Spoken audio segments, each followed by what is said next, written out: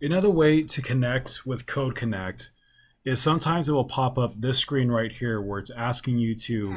take this IP address and save it into the game. To do that, you're going to click on this icon right here to copy it, go into the game, hit T, and you're going to paste it. On a PC, you're going to hit Control, hold it down, and type V to connect it. Then I hit Enter, and now my agent is connected.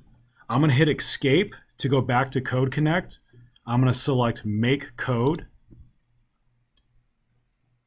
And this will be the screen that I'm working on to actually code my agent now. I know my agent is actually connected to me because he has my name. For our students, it will be either their name or their um, student ID number.